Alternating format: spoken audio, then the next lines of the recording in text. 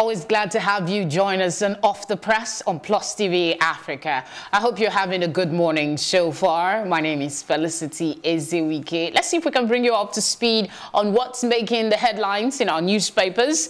Uh, we have a couple of them here this morning. And I also have a guest, as usual, to help make sense of the issues raised in the papers. And he is a public commentator, Obinna Igwebuike. Thank you very much for coming in. Thank you. Good morning. Good to be here. Pleasure to have you. Yeah. All right, we'll start with this day newspaper. Um, a couple of headlines. The screamer here, um, Obinna is actually saying is not the like, it's not like the main thing, but let's just uh, recap and then he will explain why he said that. Uh, the headline today, the screamer, I hope it's on your screen soon, it's a massive shake-up in police IG redeploys over 50 officers. It has two riders. There you have it on your screen. Um, Tinubu's ex-CSO moves to Kwara as CP. Uh, PDP protest says APC wants to oust Saraki at all cost. Remember, the guy that's gone to Kwara was at some point brought here to Lagos. I guess that's why it's uh, in the news. And then just below the masthead, this day newspaper, you will see Agbaje pledges to spend 50% of Lagos budget on education. Details of that story is on page 8. There you go. And then at the very top of the paper, you have assets in CBN's National Collateral Registry hits 1.561 trillion naira. And underneath it, NDLEA impounded drugs at MMIA increased by 400%. Uh, There's more on a bit of politics. If we go a little bit down, you will see the story on Buhari promises to reinvest recovered loot in infrastructure just beside the picture of um, uh, expanding banking frontiers, some uh, the CBN people, all of them right there. Tony Elumelu is also in that picture if you can see their faces properly. Okay, uh, let's flip quickly to the back page. This day, we'll have the choice before Nigeria. One. That's it. The picture of Yakubu, the INEC boss, is there. Why is that picture there? You will have to read the story in order for you to get the details of that. Sustaining the Jonathan legacy, that's another piece there, and the humbling feedback. These are some of the headlines on this day newspaper. So let's bring in our, guest this morning. Obinna, you were telling me just before we came on that this is like the most important news today. The NDLEA impounded drugs at MM IA increased by 400%. Could you explain a bit? Yeah, I think that's a big news item. Um, another very big news item is the news on the National Collateral Registry. Now, for the drugs impounded, I mean, I was at an event yesterday and someone was talking about, you know, the whole U.S.-Mexico crisis, the crisis in the southern border. Um, the truth is, the more the U.S. shuts its borders to not just Mexico, right? Because uh, Mexico is really just a gateway to drug movements around Latin America, the more they will likely look for opportunities in other parts of the world. So it might not be unconnected to, you know, the crackdown in the U.S. southern border, the fact that, you know, drugs like these are finding Find routes in other parts yeah. of the world. So I think it's something that as a, as a government, we should be very careful. Already we have a drugs crisis in most parts of Nigeria. I mean, may not be hard narcotics, but we've had to deal with things like codeine yeah, and, tramadol. and, tramadol. and all that. So there's already some kind of demand in the market. Um, obviously, you don't want to give people like that access to, you know, harder substances. So I mean, whether it's immigration, you know, whether it's customs, you know, the border patrol and border security is both land and, uh, you know, borders around the country and then also in the airports. Now, another very big news item, item and I'm kind of surprised that not too many newspapers are leading with this. You know, the story of the National Collateral Registry. Of course, we know that SMEs in Nigeria have traditionally struggled with getting bank finance. And one of the reasons for that is obviously lack of collateral, you know, their inability to provide collateral. Um, now, what the government did was to put in place this law that allowed movable assets. So whether it was livestock, you know, motorcycles, keke, you know, those kind of things. If, if it's registered as an asset, it can then be used as collateral for lending. Um, I think this is progress. Um, you know, sometimes we look through newspapers in Nigeria and we wonder if we are making any progress at all. but I think this is really, really, really good progress, and the government needs to be really commended. Um, 1.56 trillion is actually a lot of money. You know, so what that means is SMEs potentially can have access to loans, plus or minus what what. Um, what the asset size they have in the collateral registry. I think that's very, very significant progress. Yeah, I think you could just uh, chip in something on this massive headline that's looking at us. Massive shake-up in police. A lot of reactions coming in. Well, I mean, I think we live in a society where people suspect every move by the government. Especially now that Especially it is election that period. Elections, you know, yes. I mean, it's what, eight days away or nine days away. I don't think it's such a big deal. Um, the truth is, I mean, this is me thinking on behalf of the police. If you think, for example, that the governors have a very, very strong hold on their police commissioners, and you really want independent police commissioners who can peacefully conduct or who can help in peaceful conduct of elections, I don't think is a a big deal. You know, obviously there are one or two cases, the Kwara CP, um, obviously, um, I mean, it's, it, it, it, it can elicit some kind of debate, but beyond that, I don't think even for the Kwara case, look, the guy, if he, he can be commissioner mm. in Lagos or anywhere else, he could, I mean, there's nothing, Kwara is a state in Nigeria. Yeah. All right, let's yeah. move on to the next paper now. We have uh, a few of them and we still have sports. Um, he's going to come in, well, Udoka is going to come in and uh, talk a bit about that as well. Vanguard seems to be going to Taraba all over the front page. It's an advertorial, so we're just going to ignore that and move on to uh, the one that uh, might might be some news for a lot of persons, yeah? Uh, it should be on your screen any moment. The Vanguard newspaper has this one, polls. EU tackles El-Rufai over body bag threat to observers. Uh, the story is on page 5. There you go. It's right now on your screen. And then you have a Apapa Oshodi traffic crisis. Task force members go berserk. Why did they do that? You would need to read Lagos Gov poll. I'll spend 50% annual budget on education. Agbaje is also speaking here in the Vanguard. We go to the back page quickly. We have sports there. We're just going to give it a rest and wait for Udoka to come join us for us to take a look um, more on sports stories. So quickly, this EU situation with El-Rufai. Quick thought on that before we move on.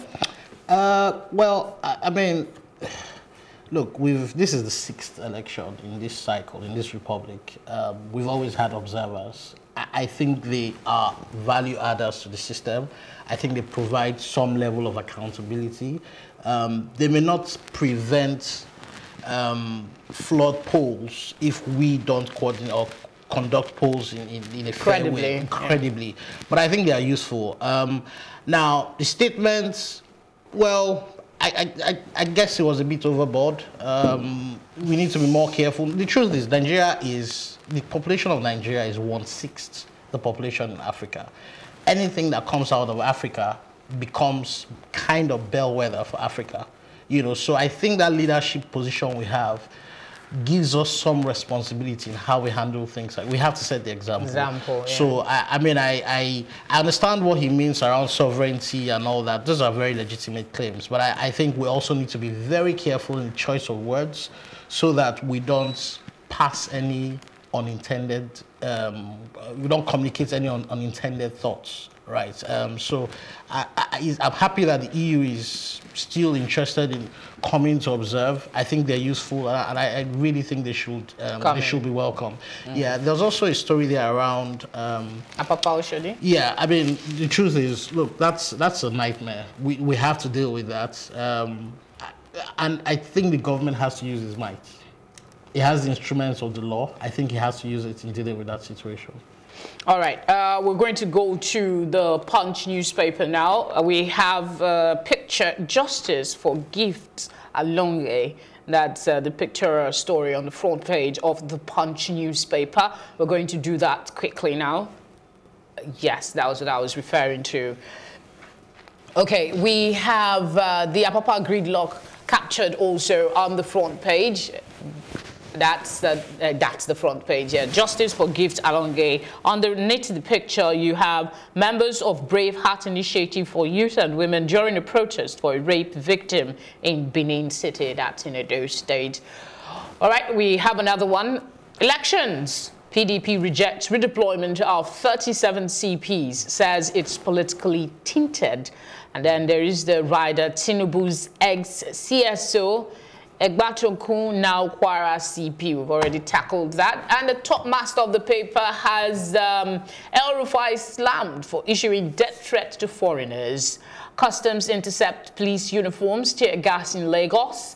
NLC wants minimum wage excluded from income tax. Uh, that was captured in our news earlier today. Let's do a quick flip to the back. You have, um, for those who will vote neither Buhari or Atiku, I'll take that again. For those who will vote neither Buhari nor Atiku, uh, what's that about? You might want to go read it up. Uh, we do have an analyst to help us make sense of some of these headlines though. And then there is the expression, the pictorial reportage on the back page. Uh, members of Vote Not Fight during a sensitization rally against election violence in Lagos. Quickly, Obinna, which of these headlines would you want to talk, touch on? Um, I will look, so the NLC um, NLC's demand to take minimum wage out of um, the income tax bracket. Um, I, I, I think it's a difficult call. You know, look, we need to increase our IGR, or we need to increase our revenue outside oil. Um, coming to ask for, you know, certain people in the federal allocation in the federal remuneration structure to be taken out of the minimum wage. I, I don't think that's a that's a fair way to go about it. What you can ask for is a tax system that actually is based on what you earn. So you can say, okay, you can reduce the the, the, the rates on people like this, but I, I, I, don't. I don't think it's good to actually ask for this. I think what they should ask for, uh, what they should put a lot of pressure on the government to do is to use our taxes more efficiently. I think that's a more um, logical but way. Don't you think it will reduce the money that the 30,000 naira, if you take out tax from mm. that, it's already gone close to 25.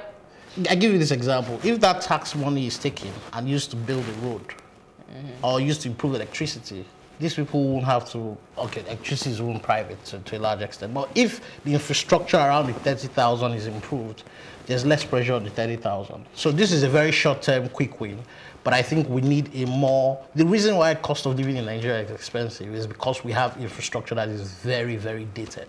So yes, you, you want short-term quick wins, but I think the solution is not in taking them out of the minimum, uh, out of the out of the um, income tax, tax um, brackets. Yeah.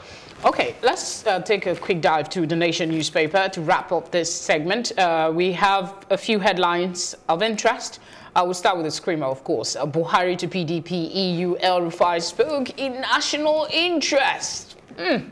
It has three riders. You might want to take a look at it. It's on your screen. Uh, governor were waiting for those seeking intervention. PDP threatens to dump peace deal. EU won't quit. Hmm.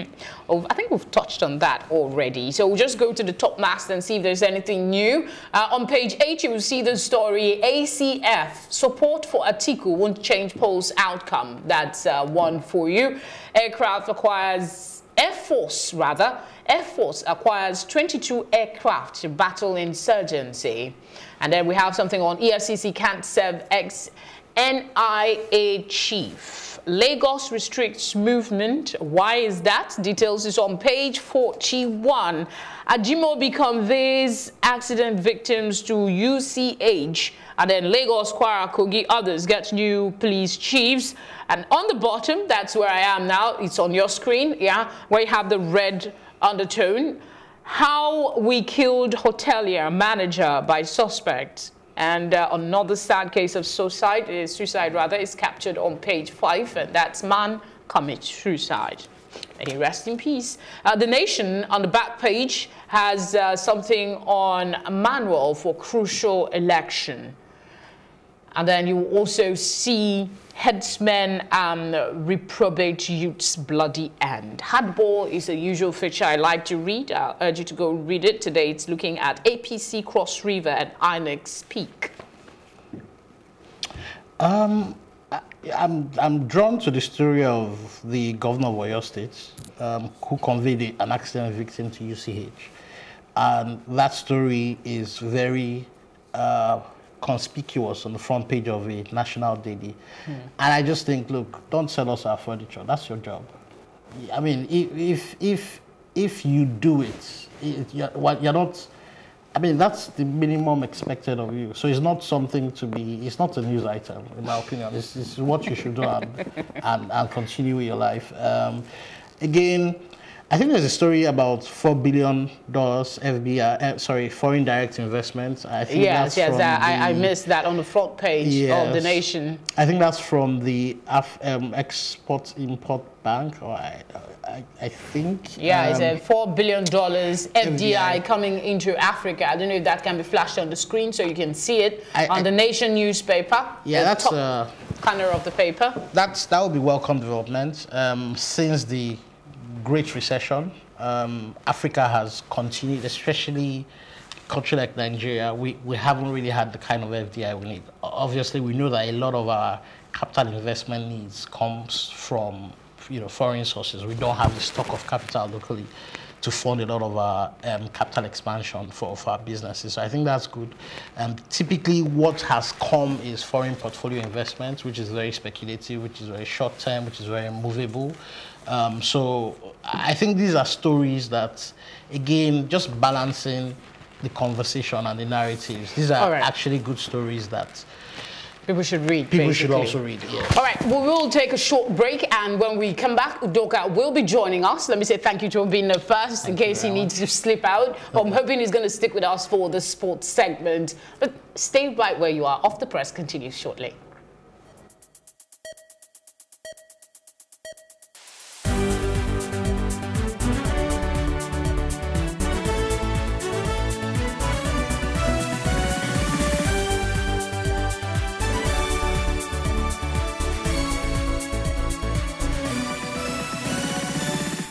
Thank you so much for staying with us. Off the press continues. Udoka joins myself and Obin to talk sports this morning. Thank you for coming in. Good morning. Udoka Njoku, by the way. Let me say it formally.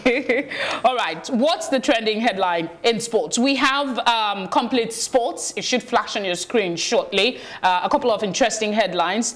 Jesus winner sends City to the top. That's um, Everton 0-2 Man City. That's uh, something on the front page. There you have it.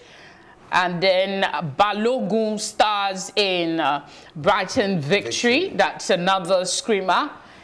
MFM grab away win, go round stone pillars. That's another one. And then there is this one, Fly Eagles must beat Niger that somebody's speaking ahead of a crucial tie. So I'm just going to let um, Udoka start things off this morning. Which of these headlines are people going to just go, I want to read this, I want to know what's going on? Yeah, well, it's all, most, most of the headlines are actually big, big stories in the world of sports. For Jesus, uh, the winner sent City to the top of the English Premier League table. They played against um, Everton uh, yesterday at, at Goodison Park, and that game ended 2-0. The first goal was scored by Laporte, a defender for Manchester City, and Gabriel Jesus came in the second half and got the winner, the vital winner for um, Manchester City to send them top of the table. And uh, they are on the same points with Liverpool, but they are ahead on goal difference. Well, Liverpool have a game in hand against that Bournemouth, while Manchester City have a tough task to defeat Chelsea to remain on top of the table. If Liverpool get to win Bournemouth, Liverpool goes back to the top of the EPL standing. It's, it's quite crazy in England. And for Messi, failing to lift Barca, before that game against um, Real Madrid, he was actually injured in a clash uh, earlier in the La Liga. And it was a doubt for that game against Real Madrid in the Copa del Rey. But that game ended 1-1. The vital goal was scored by uh, Malcom and the second half, the equalizer for Barcelona. So we're looking forward to the second leg. If Lionel Messi will get to feature in that one. And coming back home, we can't go away from talking about the Nigerian Professional Football League for MFM, grabbing that away win. It's quite quite difficult in the Nigerian league to get away victories. So for MFM getting that one against um, go around, I mean, uh, in, in the M, uh, NPFL, it was a good one for them, and they are top of the Group A standings in the NPFL table. All right, Udoka, a quick thought from you in 30 seconds. Which of these headlines would you want to? I think the Man, the Everton Man City game. I mean, I mm. watched it. It was it was something airy about the game. You know, it looks like Man City never got off second gear. I mean, mm. they obviously had all the possession, Sure. but they just couldn't. You know, the normal efficient Man City just wasn't there, and uh-huh. I think they probably, probably, it will. If they end up winning the league, it will be one of those games they'll look back and say this was three points that that actually fought for. the title. Yeah. All right, thank you, gentlemen, for coming in for much. Off the Press this morning. Um, Udoka Njoku are in-house sports analysts, and of course, Obina Igwe Brike. Thank you very much for joining us. I hope to see you more often. And that's it for Off the Press this morning. Thank you for watching. My name is Felicity Ezewuike.